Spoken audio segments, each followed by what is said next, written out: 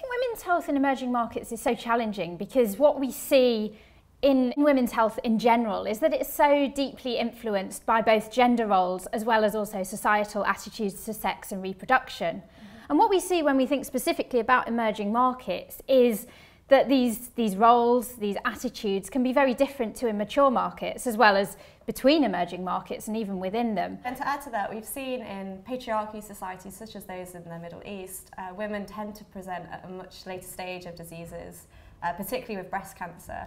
And we also see that the spouse often has more of a role with treatment decisions, mm. um, particularly the case with stigmatized illnesses um, such as depression, uh, where women often um, don't present at all or at a much later stage.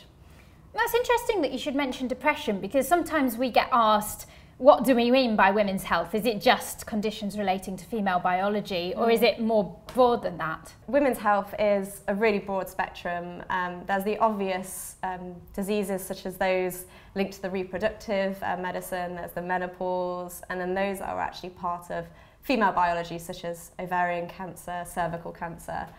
There's also um, diseases like breast cancer, which men do have, but it's much more common in women. We see mm. breast cancers 100 times more likely to occur in women versus men. Um, and then there's the less obvious diseases as well, which are linked to um, female biology, such as osteoporosis, which, whilst it is something that men get, it's just more commonly linked to females, and there's no obvious reason why. So there are also conditions that are nothing to do with female biology but linked to women's gender roles in society. So that could be something like eating disorders, for example, which are much more common in women than in men. Same with aesthetic medicine, which has been very much driven by um, mm -hmm. the female market. And even though those kind of attitudes are changing as ideals of beauty change in, in mature markets, that's not necessarily the case in emerging markets. I think finally as well, um, there's also the very consistent phenomenon globally that women have a longer life expectancy. And what that means is that women living longer also disproportionately experience diseases of old age, so things like Alzheimer's disease, for example. I think Another very striking demographic change is really the, the massive decline that we've seen in fertility rates. So, for example, if we think of the average Brazilian woman in the 1960s, she had more than six children in her lifetime. Mm. But today, the average Brazilian woman has only about two children. Um, and that has huge implications not only on the overall population structure, but also on what women's healthcare spending and priorities look like over the course of their life. Mm. Yeah, and to add to that, we've seen huge rises in um, contraception and fertility treatment just because they are delaying having children, which is um, very similar to picture to what we see in more mature markets as well. And a key part of our job is to really help pharma companies um, develop and become more aware of the opportunities um, for women's health in emerging markets.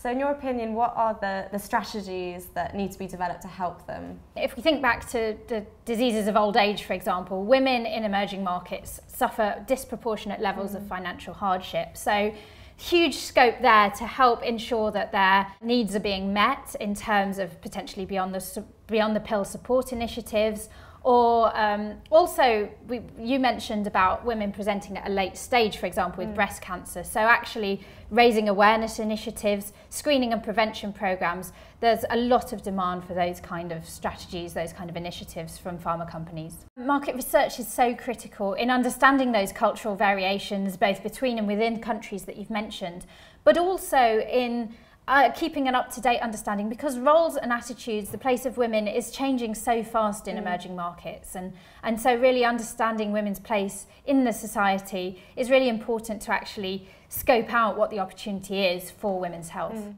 From a more logistical perspective, I think one of the challenges for pharma companies and for us is actually considering whether women in these markets can actually take part in research, yeah. especially because sometimes the, the male in the family is the key gatekeeper.